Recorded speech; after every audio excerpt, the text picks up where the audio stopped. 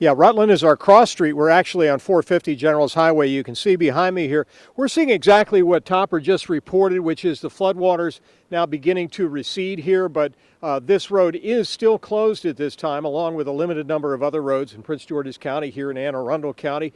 And here's how some people nearby in Bowie were reacting to all this just a short time ago.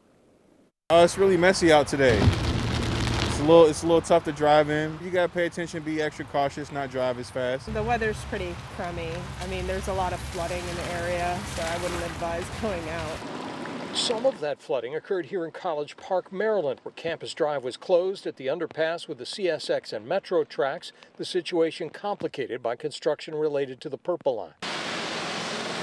On Indian Head Highway in Prince George's County, crews out in driving rain doing the dangerous work of clearing drains after flooding shut down one lane of the ramp up to 495.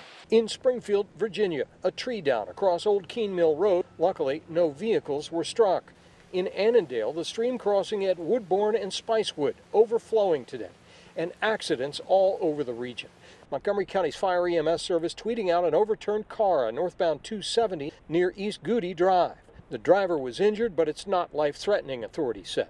Another accident on the ICC, typical of the spinouts caused when drivers are surprised by standing water on the road and lose control. Beach Drive near Garrett Park closed as Rock Creek has left its banks.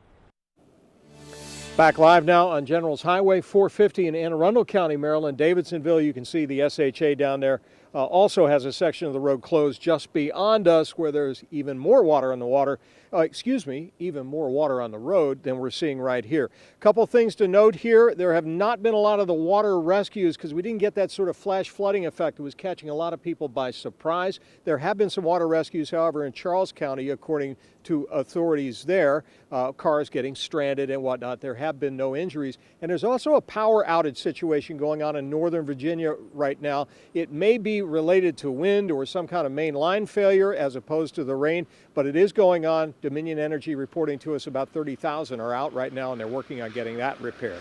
Reporting live in Davidsonville, Anne Arundel County, Generals Highway, where that truck could make it through the water. Scott Broom, WUSA 9. Well, let's hope things just stay calm and can get a little better as we go through the night. Scott, thank you.